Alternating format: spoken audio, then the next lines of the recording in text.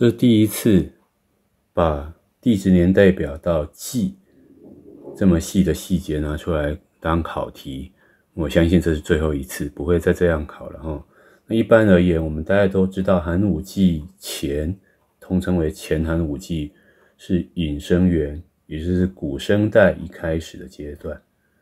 然后呢，现在来讲的话，是属于新生代的第四纪。新生代有第三纪跟第四纪，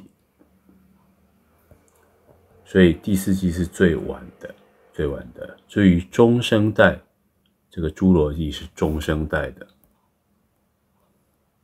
那另外二叠跟三叠纪，二叠是古生代，三叠是中生代一开始。那像这么细的资料，一般不会叫同学去背它，哦，一般不会叫同学去背它，所以你就把答案看过一次就好了，不要再背了哈。所以应该是甲、丙、戊、乙、丁，甲、丙、戊、乙、丁。